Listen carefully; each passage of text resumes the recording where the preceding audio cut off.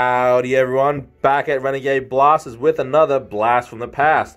Here we have the HEE M4 Punisher. This was a classic but still going hard blaster to this day. And one thing I do like about it is the color scheme. You don't see a lot of, you know, black and tan blasters, but this one really does take the cake.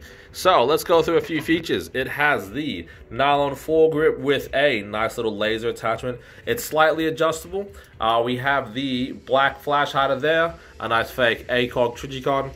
Uh, we do have a nice tan magazine, which I do enjoy, and a nice rubber buttstock that is adjustable. You can always replace a buttstock with something different, but this one I do like. I do like the black and tan features.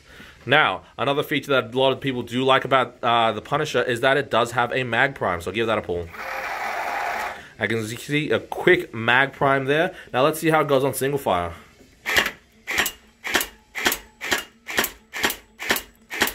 A nice solid single fire. You haven't missed a shot there, I don't think. Now let's try full auto. And yeah, there we go. That's the M4 Punisher in all its likeness. Check the description below if you want one, and if you have any questions, feel free to give us a call.